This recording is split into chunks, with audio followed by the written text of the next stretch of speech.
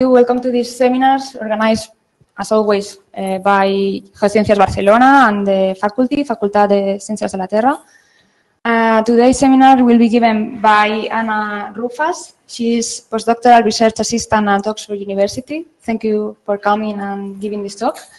And now I will invite to speak uh, Isabel Cacho from Universidad de Barcelona, who will better introduce the speaker and the topic of this talk. Thank you. Okay. Well, I, uh, I mostly want to, to say, Anna, thanks for offering us to, to come here and, and give this seminar, very interesting seminar for, for us. Um, Anna, Anna Rufa, she, she did her PhD in, the, in the University of Oxford. She actually is a biologist. Uh, I think that you studied here in the University of Barcelona, so very close to, to, to here. And then you moved to Oxford, and I understand for your PhD is in the in the carbon cycle in the ocean, in the, the organic pump. So the capture of the of carbon by the ocean by the organic activity, which is a really a hot topic nowadays in the in the oceans from the present perspective, from the future perspective. In my case, I look to that from the past perspective, but I found really very interesting your approach. And what is really exciting for me is to learn today uh, the perspective also from modeling that you are using there in, in, in, in Oxford. Anna finished her PhD last year and has been the last year she has been a, a postdoc researcher in the University of Oxford and I'll let you to explain us. All right, thank you. Thanks very much. I think, Talk with this? no, I'm going to use this microphone, so I hope that the people that are connected online can, can hear us. Um, so yeah, so today uh, I'm going to walk you through uh, a model of marine snow or biogenic marine particles that has the mathematical attributes of being stochastic and Lagrangian. So marine particles sink from the surface ocean to the deep ocean, carrying organic carbon, and are the fundamental units of the biological carbon pump. Biological carbon pump is this mechanism that sequesters atmospheric carbon into the ocean interior. And uh, last week, I attended the Ramon Margalef uh, summer, summer colloquia, and the biological carbon pump was front and center of our discussions. So what's what, what it's been its role in controlling uh, glacial interglacial variations in atmospheric CO2. And it was also emphasized that in recent IPCC uh, reports, the divergence between observations of, of uh, carbon sink in the ocean and what model, models are predicting is uh, increasing over time for the uh, past decades. So um, the oceanography community still doesn't know what are the uh, biogeochemical mechanisms that control this uh, uh, sink of carbon driven by the biological carbon pump, and that is due to the complexity of this system. So today, I hope to illustrate where the complexity stems from and how this complexity makes the carbon pump a complex system to illustrate, to conceptualize, and, and to model. This uh, model of marine particles, as, as uh, Isabel has said, has been the um, PhD research project that I did in Oxford, and this is a, uh, an ongoing project. Um, as a postdoc, I'm still working on it, so I'm still improving the model, um, and uh, hopefully there is a lot of potential in the in the coming years. Um, so I'm going to walk you through the outline of the talk. Um, so I will start with the fundamental questions that motivate my, my research. So what is the biological carbon pump? Why does it matter? What metrics we use to quantify it and how we observe it. Uh, I'm going to present my model. I will outline its characteristics, how I simulate marine particles and, and the biological carbon pump in which they interact. And there are so many processes, so many biogeochemical processes in this model that I'm going to focus only on two which is a, a, model to seed phytoplankton cells in the surface ocean, and then a model of uh, zooplankton encounters, how they encounter food particles. Um, I will show how I have calibrated this model against uh, uh, observations of uh, fluxes of carbon, uh, calcium carbonate and biogenic silica and particle number concentrations, and I will show some local and global results that make this model quite unique in the sense that it outputs variables that only a, Lagrangian model of marine particles can, can simulate at that standard biogeochemical models that are used in IPCC reports cannot. So let's dive into it. So we know that uh, sedimentary carbonate rocks are the largest reservoir of carbon in our planet. And this illustration of these white cliffs in the coast of Devon in, in Southeast England make a great illustration for this.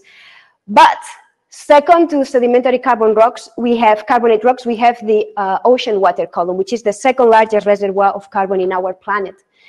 And I think this illustration uh, uh makes a good case for it. So most of the carbon stored in our oceans uh, is in the form of dissolved inorganic carbon. And this reservoir of dissolved inorganic carbon is 45 times the amount of carbon stored in the atmosphere and approximately 15 times the amount of carbon stored in, in, in, in land plants and soil.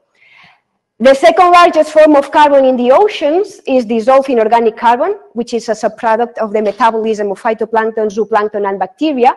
And then we have particulate forms of carbon, organic carbon and inorganic carbon, which is here in, in marine biota. Actually, particles carrying carbon, organic and inorganic, are a transient, transient form of carbon because most of the carbon is in, in, in the dissolved phase. Um, so yeah, so how has the ocean water column managed to store so much carbon? So this is due to uh, two processes that happen, the solubility carbon pump and the biological carbon pump. The solubility carbon pump is uh, driven by temperature and alkalinity.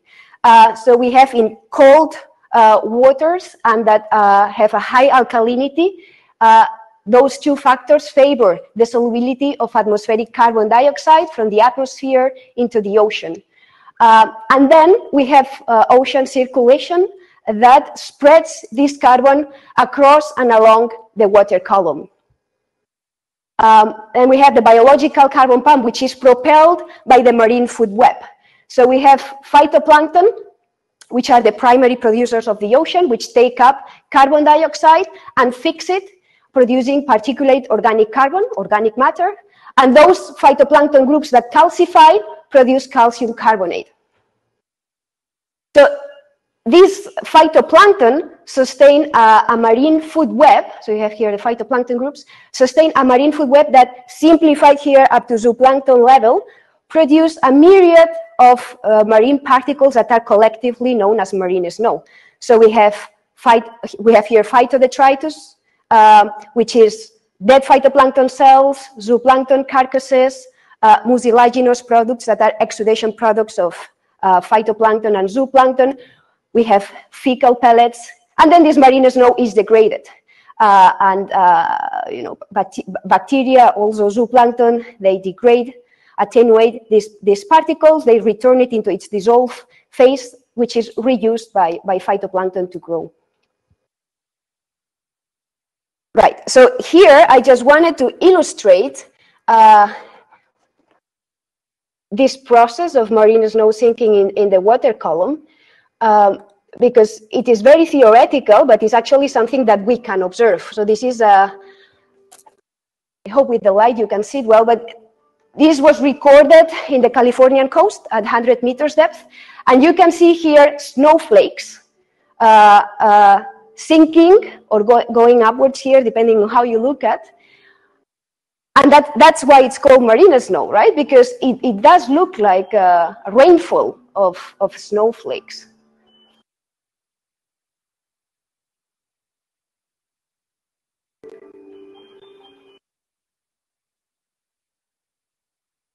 Right, so going back.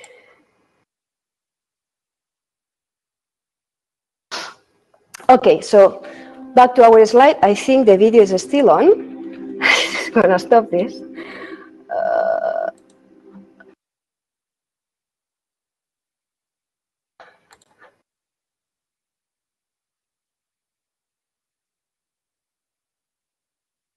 Yeah, so I, wanted to say that this depiction that I've shown you here of the biological carbon pump um, emphasizes the role of gravity in, in, in, in the transfer of particles from the surface to the deep ocean. Um, uh, so, so we have this marine food web that produces these particles. Actually, I wanted also to say that the biological carbon pump usually has two sub-branches, the soft tissue pump and the carbonate counter pump.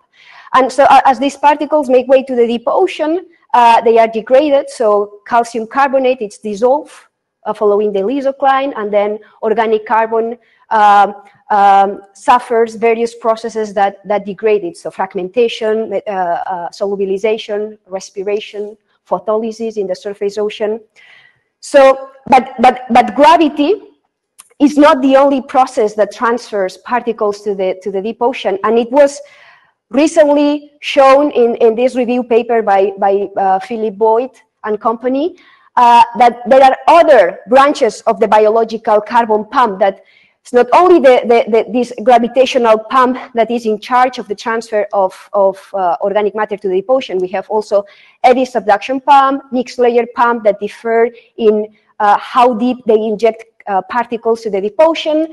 And then we have uh, mesopelagic migrant pump, which is driven by organisms that perform vertical migration and also organisms that instead of uh, diurnal vertical migration, they do that on an ontogenetic basis or seasonal basis. But still, the gravitational carbon pump is the one that contributes the most to the carbon export to the deep ocean. So we are not too biased with, with that depiction of gravity being at the center of the biological carbon pump. Um, yeah, so the solubility carbon pump and the biological carbon pump they transfer dissolving organic carbon from the surface to the deep ocean, enriching the deep layers in dissolving organic carbon compared to the, to the surface ocean. And that enrichment, so, so, so there, is, there is here a transfer of dissolving organic carbon uh, that is against a concentration gradient. So it's not a passive diffusion, which follows gradient from more to less. This is from less to more. That's why we call it pump, because it goes against a concentration gradient. And most of the dissolving organic carbon that is stored in the deep ocean and was originally in the atmosphere as dissolving organ uh, carbon as carbon dioxide, most of this dissolving organic carbon in the deep ocean is there because of the solubility carbon pump. But the biological carbon pump, and that's why, why it make, makes it relevant, uh, is con contributes to the vertical gradient in the distribution of this dissolving organic carbon. So the fact that there is more dissolving organic carbon in the deep ocean compared to the surface ocean is due to the action of the bi biological carbon pump. So two thirds attributed to the biological carbon pump, one third to the solubility carbon pump.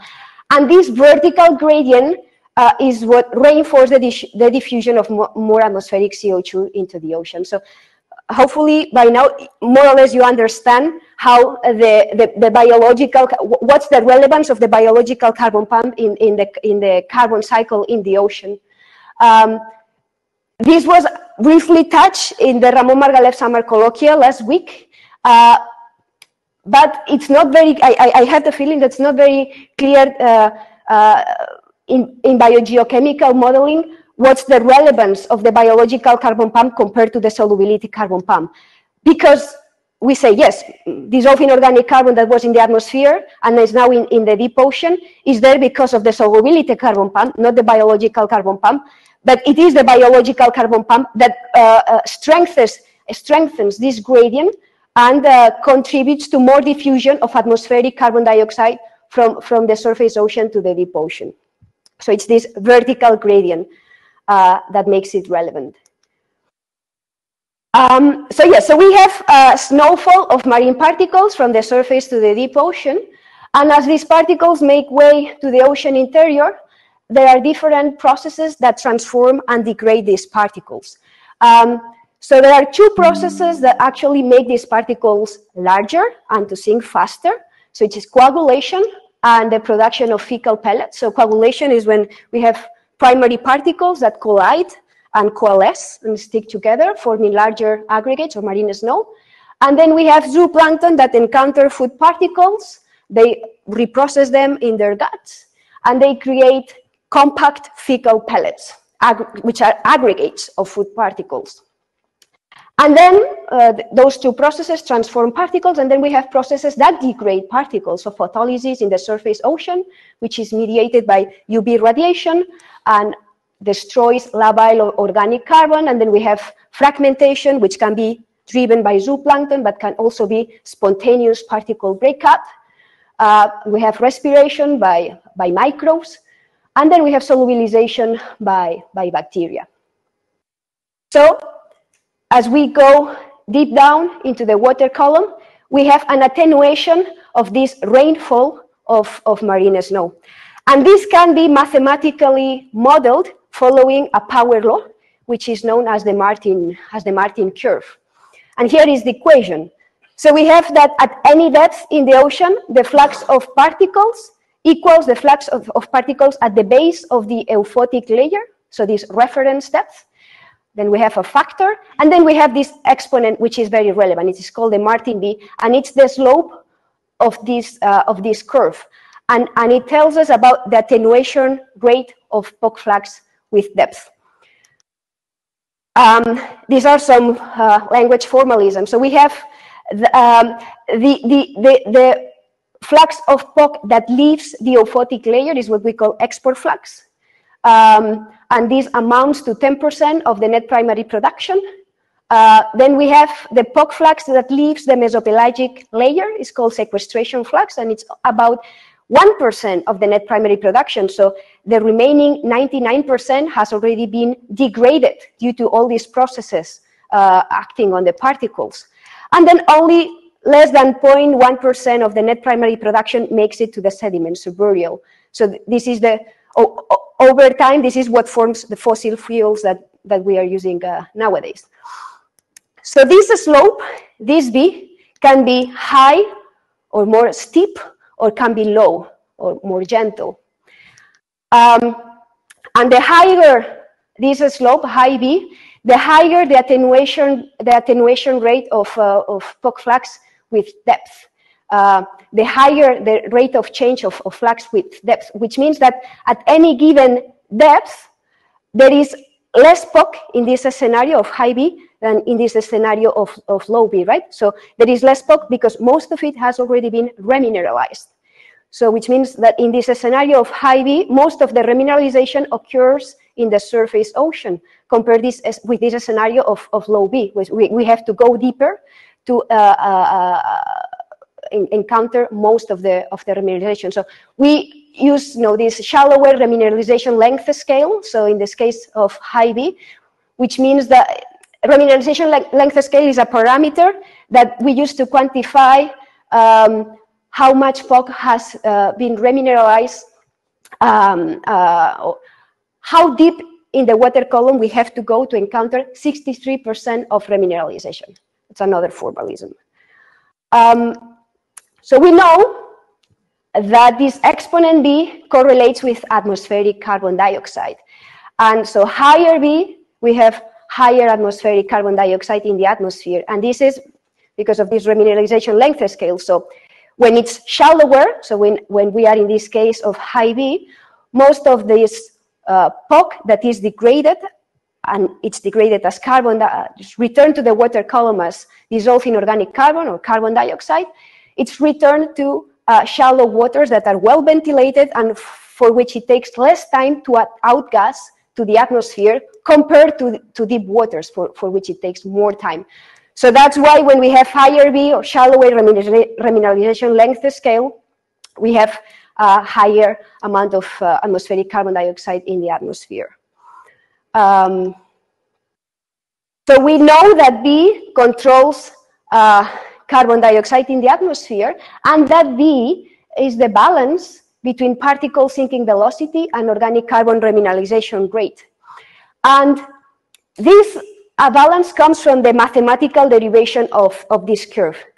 This curve was actually derived as an empirical fit to sediment trap data in 1987 by, by John Martin, which is the guy that later on came, came up with the iron fertilization hypothesis.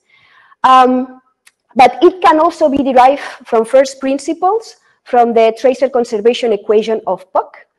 And um, it tells us that at any depth, the amount of POC that we will find uh, is the balance between the da downward transport due to the settling and the amount that has been already has been already remineralized.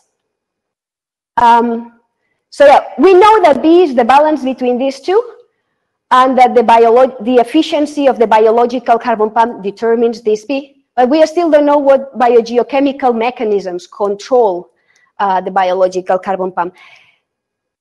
There have been some suggestions. Uh, all of them make sense.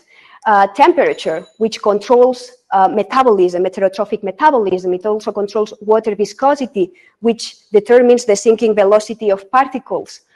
Um, oxygen, again, uh, controls uh, metab metabolism.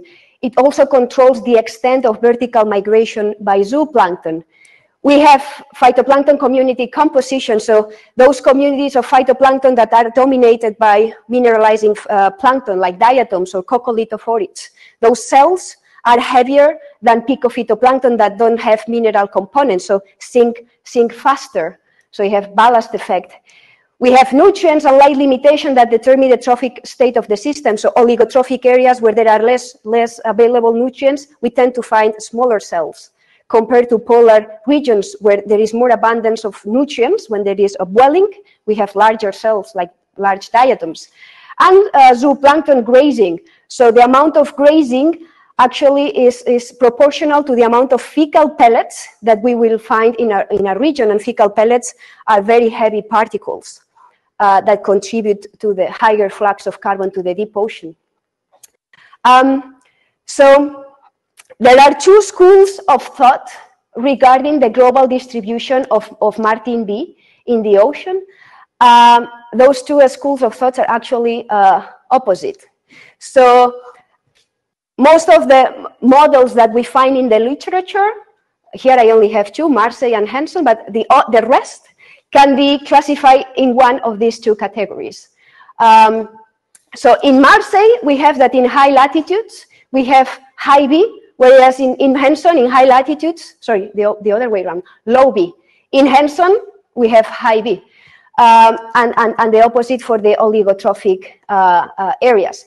And these discrepancies in the distribution of global patterns of B are due to the different data sets that those two models um, use.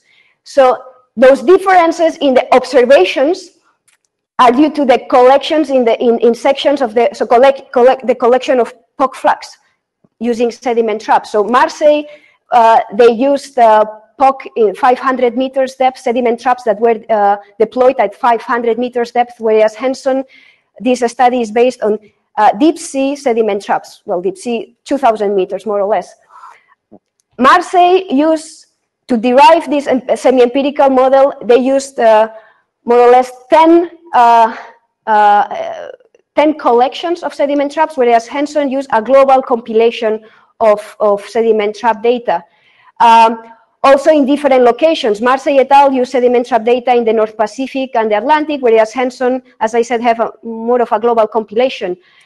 And they all, this, this uh, um, uh, data is also collected with different methods. So whereas Henson used sediment trap, but they also use radionuclides, Marsay et al. is only based on sediment trap. So we have that depending on which observations you use to, to drive your model, you might end up with uh, opposing patterns of, of B. You, you might wonder why we also have this diverging scenario. What is the biogeochemical answer to, the, to these patterns. And well, we, we have that Marsay et al. came up with uh, temperature control. So we have that in the oligotrophic warmer ocean, uh, uh, metabolization rates are higher. So we end up having a shallower remineralization length scale, so high B. And uh, they also came up with a size of phytoplankton cells control. So we have that in the polar oceans, cells are larger which sink faster, which may, we end up having a deeper remineralization length scale or lower B. Whereas Henson et al., instead of invoking temperature and size of phytoplankton cells, the controls that they invoke is grazing. So we have in the oligotrophic ocean, we have uh, hi higher grazing control, therefore high, high production of fecal pellets, which uh, sink fast to the deeper ocean. Um, so we have a, a, low B or higher transfer of POC uh, to the deep ocean, uh, whereas in high latitudes, uh, we mostly have diatoms, which are cells that are easier to digest, more appetizing than smaller cells here in the oligotrophic ocean. So if they are more appetizing and, and easier to digest, uh, we will end up having a lower transfer of those to the deep ocean. So yeah, this is just a pure explanation of, of the controls that they invoke in these two studies. So I was making a lot of emphasis in the role of observations uh, that are used to, to derive our model results. And I, I, mentioned sediment traps. So sediment traps have been used since the 80s, and those are particle interception techniques to capture particles. We have sediment traps uh, that can be surface tether, so here in, in, the surface ocean, can be attached to the, to the seabed or can uh, drift with the, with the currents. We have marine snow catchers, which are mostly used uh, for particles that are suspended in the water column, whereas sediment traps is more for those that are sinking. And we have radionuclides that are also being used. Um, so these traditional methods of collecting POC fluxes um, give us this patchy picture, picture of uh, sediment traps, uh, sediment, sed, uh, of, um, sediment trap flux programs that are in the ocean. So there are only around 20 time series that have been systematically collecting sediment traps uh, on, a, on, a, on, on, on a basis, on a monthly or annual basis. Um, these are time series, which means that uh, signed oceanographers have been collecting those uh, fluxes um, not in one specific moment of the year and one random year, but systematically month after month. Um, and as I say, there are only around 20 in, in, in, in the ocean. Um, in the past decade, so in the last 10 years, uh, we've seen the emergence of autonomous platforms. Um, so we have optical imaging and backscatter sensors. Um, so optical imaging, so the underwater vision profiler, this has been a great revolution because it allows us to measure fluxes and also uh, um, take pictures of particles. So we can see their size, uh, we can infer more or less what materials uh, uh, contribute to the bulk of the particle. And we also have acoustic backscatter sensors that are attached to gliders. Um, so here we have the dive of a glider, or biogeochemical Argo floats, which are profiling floats. Um, and these uh, autonomous platform systems, they give us a more complete, more complete picture compared to the patchy one that sediment traps was giving us. The underwater vision profiler, uh, they've been de developed by in, in Villefranche um, by Ifremer, and it's been operating since 20, uh, 2008, whereas the biogeochemical Argo float program started more recently. Um, and uh, actually, the data that I used to validate my model comes from the from the U UVP because there is there is more data. This is around 500 floats uh, compared to the UVP program that has uh, data in more regions of, of the ocean. So yeah, so, so the question that drives uh, my research and therefore the development of a Lagrangian model of particles is what, what are the mechanisms that control the attenuation of POC flux in the ocean as characterized by the Martin B. And uh, apologies for this uh, heavy slide. It's the only one that I have in the presentation, but I had to outline the, the characteristics of the model. So this uh, model is, is SLAMS2 is a stochastic Lagrangian uh, aggregate model of sinking particles that stems from the work of uh, Tinna Jokulsdottir. So Tinna started in Chicago in 2011 uh, with a very uh, simplified model of particles uh, coagulating in a streamlined biological carbon pump where biology was parameterized. um, temperature was parameterized. It was not coupled uh, to uh, biogeochemical variables. And we took that uh, model of coagulating particles and we uh, expanded it by including biology, by including phytoplankton, uh, creation driven by environmental controls, by including uh, developing a zooplankton model that encounters particles. So we have SLAMS 2, uh, so it's the second, second version of the model. So this model is Lagrangian, which means that it tracks particles uh, along their trajectory since they are created and until they are destroyed. Lagrangian is a term that opposes Eulerian. So traditionally, oceanographic observations are Eulerian, meaning that they are uh, uh, fixed in a specific point in space, and from that point in space, we monitor what's happening uh, in, in the water column, whereas Lagrangian tracks the water, the, the particle along the uh, uh, vertical dimension, vertical and well, 3, 3D dimension. The model is stochastic, we, which means stochastic or probabilistic, which means that we use random sampling or the Monte Carlo method um, um, um, to guess what will be the outcome of biological carbon pump processes that are highly stochastic, or also to sample parameters that are very uncertain. So we have a range of a mi minimum and a maximum value, and we use the Monte Carlo method uh, to pick up one value in between the range. These particles, by marine biogenic particles, interact with each other. Uh, so we have coagulation and also with their biogeochemical environment. So we have zooplankton grazing, microbial metabolism, photolysis, dissolution, disaggregation, and they sink along a two-dimensional water column. So it means that this model doesn't have ocean circulation yet. So that's what a two-dimensional water column. This is a work in progress. Uh, the coupling to ocean circulation will happen in, in least hopefully in one year time. These particles carry major biogeochemical uh, materials, particulate organic carbon, calcium carbonate, biogenic silica, and clay.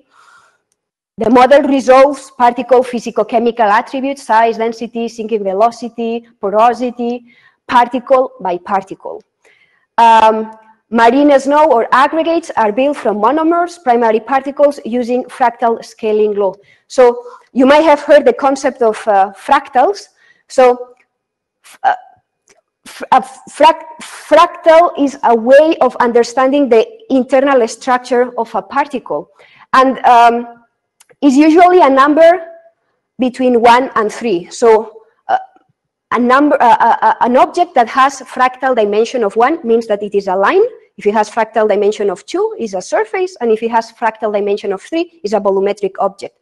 And um, fractal objects are those that have a dimension in between these, in between one, two, or three, a fraction. So marine particles are usually something between 1.2, 2.3. Um, the biological carbon pump in SLAMS has dependencies on, on, on, on various forcings, so light, net primary production, chlorophyll, uh, aeolian deposition of, of clay, nutrients, nitrate, phosphate, uh, silicic acid, have temperature, oxygen, uh, uh, saturation by calcite, and mixed layer depth. Uh, so those are variables that we we force the model with to drive the biological carbon pump. And therefore, the output of the model will be driven by these uh, variables, apart from the internal dynamics of the particles. Um, we have four phytoplankton, uh, we have explicitly four phytoplankton functional types, diatoms, coccolithophorids, picophytoplankton, and, and large phytoplankton that don't mineralize, and uh, 18 mesozooplankton size classes. And from the statistical ensemble of particles, there emerge fluxes of these different materials, POC, calcium carbonate, biogenic silica, and particle number concentrations. And very importantly, this model is fast to resolve uh, because it, use, it uses algebraic equations and it's written in a compiled programming language, which is Fortran. So going, try, I'm going to try to illustrate the, the concept of Lagrangian marine particles. So we have an, an, ocean box in the model, and we have this fall of Lagrangian particles. And, and, and if we zoom in in this computational Lagrangian particle, we will actually realize that this is a cluster of, uh, of uh, particles, these marine snow, that are identical to each other. So we have the Lagrangian particle is a computational particle that uh, clusters physical real particles that are identical to each other, meaning that they have the same physicochemical attributes of size, density, porosity. This is actually a computational trick that we use in SLAMS, and, and it's, it's actually it makes the model run faster and with, with uh, less computational requirements, and it, it comes from the realm of cloud physics. It's called the super droplet method. Then we have that each of these snowflakes are made by primary particle units. So each particle, which aggregate, it's made by primary particle units um, that cannot be disaggregated into uh, sub-entities. And they have a certain amount of the different uh, biogeochemical tracers. And so from the molar material composition of, of uh, of the particle, assuming fractal scaling approach, we can derive uh, the volume of the particle, the radius, the porosity, the density, and then using Stokes' law, we can derive its, its sinking speed.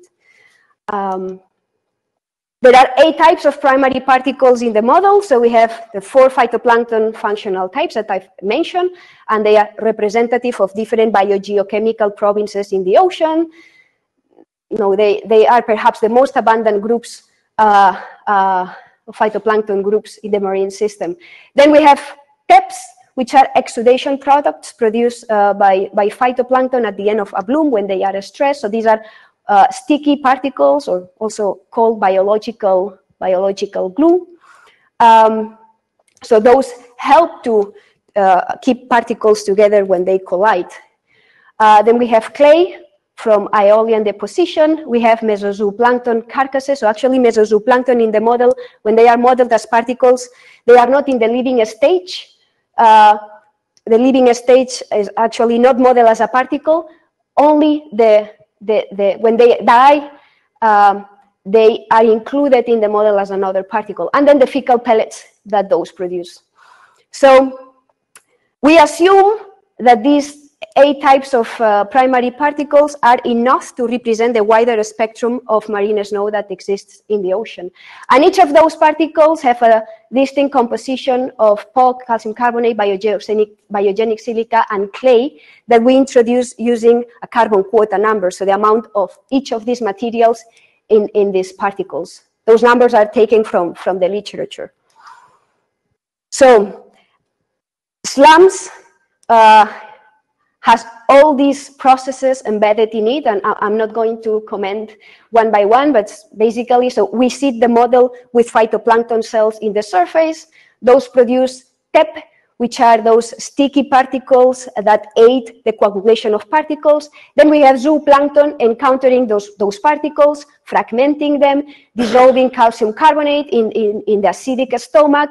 We have egestion, which is the formation of fecal pellets, respiration, death, then we have particle coagulation, which is driven by Brownian motion, differential settling, shear stress. So those are standard equations to model coagulation of particles that come also from the atmospheric physics. Um, then we have abiotic, abiotic particle breakup or fragmentation. We also model microbial metabolism, so respiration and solubilization. We have photolysis in the surface ocean and abiotic mineral dissolution. All these processes have dependencies on uh, environmental variables uh, like you know, temperature, oxygen, macronutrients, but also on biogeochemical particle dynamics, right? So the size of the particles, the strength, the lability of the carbon, the phytoplankton community composition, zooplankton abundance, etc., etc. So there are many processes in the model that I'm only going to explain two, which are perhaps the, the ones that took most of the intellectual work, which is the seeding of phytoplankton cells in the surface ocean. So the model is first with primary production, and primary production actually comes from the CAFE model. Uh, so we have different algorithms that we can use to, to, to, to extract uh, uh prime, primary or to model primary production. So we have the VGPM algorithm, carb carbon productivity-based algorithm, CAFE model. So we chose the CAFE model. Um, so using standard equations of phytoplankton growth, uh, using uh, you know, phytoplankton cells are, are limited by light, temperature, macronutrients, and, and, and, and, and using these environmental factors plus some photosynthetic parameters, we calculate the expected growth rate of uh, the, the four phytoplankton types that we have in the model in a particular location in the ocean with a, with a particular amount of irradiance, temperature, and macronutrients. So we calculate those, we transform these phytoplankton uh, uh, growth rates, which are division rates, into relative frequencies or probabilities, which, which we have in this diagram. So each phytoplankton type has an assigned probability, which stems from the growth rate. And we sample these probabilities using uh, the Monte Carlo method. So the Monte Carlo method basically consists in computer generates a random number uh, between zero and one with a homogeneous distribution. And then, well, internally it samples uh, the, the, the distribution of those uh, uh, growth rates, which have a probability distribution. And in this case, the computer gives us that the uh, phytoplankton type with, with, with, the highest probability of being sampled is picophytoplankton. So we sample picophytoplankton. And now we have to transform picophytoplankton in, into cells, number of cells. So the model is driven by primary production, which is milligrams of carbon per meter square per day, and we have to transform that into number of cells of picophytoplankton in this case. So for that, I've mentioned before that uh, my primary particles have an assigned quota of material. So in this case, uh, uh, picophytoplankton have this uh, cell carbon quota, and we use this uh, um, to, we divide the, the primary production by this number uh, to calculate the number of picophytoplankton cells that we will have. And in each time step in the model, we do this, we perform this random sampling of our uh, phytoplankton distribution 20 times to ensure that we have a good coverage of the four groups of picophytoplankton. So that random sampling of the, of the four phytoplankton types give us this global distribution, which agrees well, well with observation. So we have diatoms uh, that have a higher relative abundance, so this is relative uh, abundance, in the high nutrient, low chlorophyll areas, and also the high latitude seasonal systems. Then we have picophytoplankton that dominate in the oligotrophic and tropical ocean. And then the background concentration of coccolithophorids and flagellate. So in coccolithophorids have here a strong signal in the great calcite belt, as it is expected from observations. Okay, so that's phytoplankton. Um, then for zooplankton, zooplankton biomass is not uh, um, has to be imposed into the model and, and has to be discretized into mesozooplankton individuals that will perform these encounters individually. So um, there are not many observations of zooplankton biomass in the deep ocean, but recently Santiago Hernandez Leon and company, they, they published this compilation of observations of zooplankton biomass with depth. So most of the observations of zooplankton biomass that we have from the COPEPOD database are in the first 200 meters of the ocean, but there is not much for the deep ocean to infer a general equation that predicts zooplankton biomass with depth. So these, these, these authors gather data from main biomes in the ocean, and they provide some uh, fits, some regressions that allows us to calculate zooplankton biomass depending on which biome in the ocean you are. So I use this in SLAMS to infer the zooplankton biomass in the different locations in the ocean, and I distribute this uh, this biomass into size classes of, of mesozooplankton using, again, a power law. So I have a size-based approach to distribute biomass into individuals. So, you know, size, uh, the smallest mesozooplankton class to the largest mesozooplankton class. So we, we, we can infer how much carbon we have assigned to the different classes and therefore how many individuals in these uh, different categories.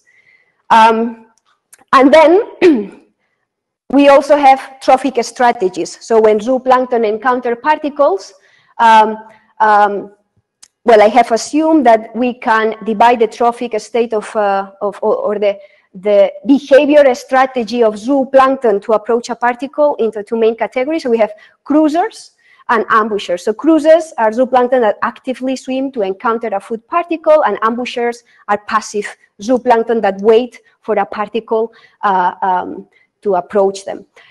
And these two types, these two feeding strategies uh, have uh, um, dependence on the moment of the day, so night and day, and the depth in the water column. So cruisers tend to live during the day deep down in the water column to avoid predation by visual hunters that usually live in the in the photic ocean. So they take shelter in the deep ocean, and then during night they are mostly found uh, in the in the surface ocean when there is more abundance of food, and now predators have more visual difficulties to to catch them. Um, yeah, so with these feeding strategies, zooplankton encounter particles, and actually the encounters are, are, are measured using units that you couldn't use in a model to decide whether a particle is going to be encountered or not. So uh, encounters are measured in units of meter cube per second per individual. So how do you use these units, meter cube second per individual, to infer whether the particle is going to be encountered or not? So um, this is actually, uh, you know, moving from one unit to another is something that we do here in the code. Um, and uh, it can be proved that the, the, the, the, method we came up with to move from those units to decide whether the particle is going to be encountered or not uh, agrees with observations of ingestion rates that have been calculated for a few uh, locations in the ocean. So some results. So I, I have calibrated uh, this model. Um, so this model recreates the fluxes of POC, PIC, and biogenic silica. So I had to calibrate it or, or tune the parameters uh, using um, observations uh, from sediment traps because sediment traps are the only observational technology that is actually capturing these three simultaneously. UVPs don't do that. They're actually images of particles. They don't tell us anything about the material composition and the same with radionuclides. Um, so this is one condition. I, I, I need to have observations of these three simultaneously I also need particle number concentrations to calibrate the model, so number of particles per liter. Those come from the underwater vision profiler uh, data. Um, those locations that I will use to calibrate the model must be open ocean, so away from the, from the inputs or from land. Those must be time series stations which provide uh, quasi-climatological data. So actually the model needs to have uh, data of POC, PIC, and biogenic silica flux per month because the, the, the, the, model can calculate an annual average, but from monthly data. Um, and yes, and, and we need data in the, in the photic, in the mesopelagic, and the deep ocean. So those three depths must be covered by observations, as well as I was mentioning the temporal scale, so each month of the year. And not many locations in the ocean have data in each these three layers for each month of the year. We can actually count them with the fingers of a hand. And so I've selected uh, BATS in the nor northern Sargasso Sea and Ocean Station Papa here as a, two, two cases to illustrate uh, this problem with the spatiotemporal scale. Um, but actually, to calibrate the model, I'm using Ocean Station Papa, BATS, these ones that are here in bold, Hausgarten, Equatorial Pacific, and Porcupine-Abyssal Plain, uh, because they meet all these requirements. So here is POC flux, and here for Ocean Station Papa on the left-hand side and, and BATS on the right-hand side, we have for each month of the year, we have data at different depths. So that's the, the vertical axis. And the different color scale is for the different depths and also the different methods. So basically we have trap data with the circles and the crosses for radionuclides. And uh, you can see that, for instance, in Ocean Station Papa, there is no data in the surface ocean in January, but we have data in the warmer season, in the, in, in, the summer months, right? Whereas the, the winters are barely sampled. This is, this is a problem with the polar time series stations, that they are mostly sampled in the warmer season.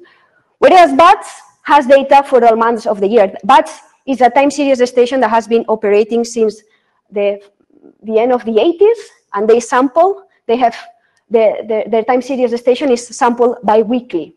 So they provide a good uh, climatological average of those fluxes.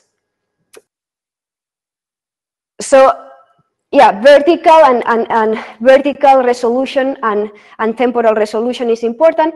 And also the fact that in all these different stations, not, not all of the three materials, so POC, PIC, and biogenic silica flux, are sampled with the same amount of effort. So usually we have more uh, samples of POC than we have of biogenic silica and PIC. So, um, and also the amount of samples that we have in the different uh, layers of the, of the column. So for the euphotic layer, we tend to have less samples than we have for the deeper ocean here in dark blue or for the mesopelagic. When most of the remineralization in the ocean happens in the euphotic, but it is that uh, depth layer in the ocean where we have less samples, which is a paradox. Um, so here I'm, I'm, I'm, so SLAMS uh, is model is uh, run on a water column basis. So we basically have the global ocean is subdivided in, in, in water columns. And here I'm showing results of running uh, SLAMS at BATS, BATS only. So at one specific location. So at one specific location, we can get information of, so we have fluxes of POC, calcium carbonate, and biogenic silica. And so here we have the, the, the, black line is the model output, and we have here the observation. So the model, what I'm showing here are results after optimizing uh, uh, the model against observations, so tuning parameters so that the model output fits better observations. Um, and at the same time, this optimization exercise is not only performed with flux data of these three biogeochemical tracers, but also with uh, particle number concentration data. So um, we have that particle number concentration data can be divided into size classes of particles. Um, this is a particle size spectra, which means that uh, different size classes of particles, so here the different color lines, have a different particle number concentration. And so here are from observations. So these observations are from the underwater vision profiler that I was talking about before. So these are observations, and this is the model trying to recreate this particle size spectra. So the, the number of particles in each of these particle size categories. And the model is performing quite well because it's managing to reproduce larger size classes of particles that are actually, for some reason, not being captured. So these larger size classes here in yellow and orange, not being sampled by the underwater vision profiler. And if we sum, if we sum all of these, uh, the number of particles in each size class, we have the total number of particles. So we have total number of particles modeled in this black line and the, the, the, the, total numbers that we get from, from observation. So the model is performing relatively well, considering that we are trying to uh, fit model outputs to particle number concentrations and particle fluxes at the same time. Only a Lagrangian, Lagrangian model of particles can, can do that. Um, the model produces a myriad of outputs. And actually, I don't have observations for all the outputs that it produces. So it can tell us, uh, so for the, uh, for the uh, water column, uh, we have the different sinks of carbon, which are, so the different mechanisms that degrade carbon. So we have microbial respiration, zooplankton respiration, right? So we have uh, which process, which uh, heterotrophic process is responsible uh, um, Uh, uh, for most of the sink of carbon.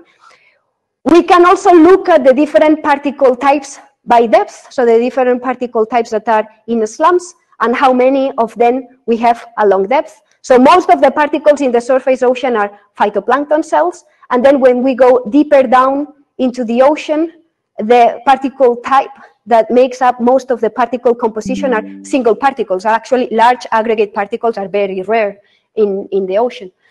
Um, we also have, uh, so for instance, zooplankton, when, when they encounter particles, three things can happen. Particles can be fragmented, can be omitted, or can be ingested. So here we have an estimate of the amount of fragmentation. So this is like a relative, uh, this is a fraction from, from zero to one. So how much, uh, uh, how much of the attenuation due to zooplankton grazing is due to fragmentation, how much due to ingestion. Um, there are no estimates, there are no numbers of uh, observational, or at least I'm not aware of general, general observations for these quantities. And then we can also look at profiles of, uh, of metabolism, right? So zooplankton uh, solubilization, ingestion, respiration. So along the water column, um, how much these processes contribute to the degradation of, of, of carbon. And this is the last slide. So if we run SLAMS on a global scale, so I said I, I, I, have compartmentalized the model in water columns in the ocean. And if we, if we run the model for each of these water columns, we produce a global picture. So before I was telling you that in the modeling literature, we have two schools of thought regarding the distribution, the global distribution of Martin B. And this is what the SLAMS produces. And this pattern of, uh, that we produce in SLAMS with B higher in the, in, in the oligotrophic and tropical oceans and lower in polar areas agrees well with the pattern proposed by, by Marsay. This is actually a result that was produced with a zooplankton model that was much more simple than the one that I've shown you before. So when I finish optimizing the model and I run it again on a global scale, I, I might obtain, hopefully, the similar pattern with a better resolution than the one that I'm showing here. And, and uh, when I analyzed the sensitivity that the model output produced by SLAMS had to different environmental factors and particle dynamic factors, I, I could conclude that the, the, the, the, processes that are driving this pattern, the processes controlling the biological carbon pump, the efficiency of the biological carbon pump, uh, were primary production and relative uh, percentage of diatoms. Marsay was invoking temperature and the size of phytoplankton cells. Henson was invoking grazing and lability of carbon. So, you know, it's not just, uh, you know, I'm not saying, oh, it's just primary production and diatoms, because actually the pattern of primary production and diatoms is also controlled by temperature. And we also know that diatoms are labile and are also larger than other cells. So it's a bit of everything. Um, yeah. So some take-home messages. Um, so we know the biological carbon pump reduces atmospheric carbon dioxide. Uh, sinking marine particles are the, the, mechanistic units of the biological carbon pump and need to be brought to the deep ocean to reduce atmospheric carbon dioxide. Uh, observations of the biological carbon pump are, are patchy in the spatial and temporal scale, and we need autonomous technologies to help us to increase the resolution uh, of, of the frequency and the, and, the, and the spatial scale of this sampling. We still don't know what uh, biogeochemical controls drive the, the carbon sink in the ocean mediated by the biological carbon pump. We have conflicting modeling studies like the School of Thought of Marsay and the School of Thought of Henson, which are based on different observational data sets. So depending on which, day on which observations you use to drive or calibrate your model, you might end up having different results. This is, this is a big problem. Um, so SLAMS, a stochastic model of Lagrangian marine particles, shows that Martin, the global pattern of Martin B is driven by net primary production and diatom relative abundance. Um, so there was another slide for, for future work, but uh, I didn't ha have time to write it down, so I'm just gonna gonna say this out loud. So SLAMS is, is an ongoing project, and uh, right now I'm, I'm looking for uh, applications of it. Um, so I, I was thinking, because current application of SLAMS is answering what controls the, the pattern of the attenuation rate of POC flux with depth. Uh, but I was thinking that other relevant questions for which this model could be used for I was thinking of, for instance, coastal systems where, where there is a high sedimentation of particles. A model of Lagrangian particles can have potential to answer some relevant questions to engineers, for instance. Um,